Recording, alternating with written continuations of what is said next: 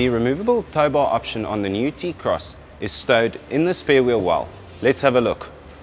Your removable tow bar is situated under your tools in the spare wheel well.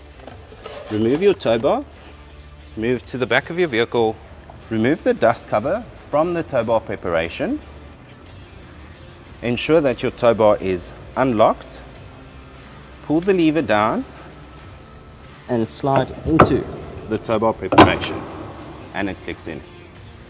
Also ensure to lock the tow bar again, remove the key and the tow bar is fixed.